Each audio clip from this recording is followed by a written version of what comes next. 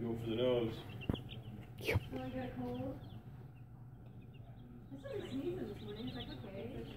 Look at those chickens.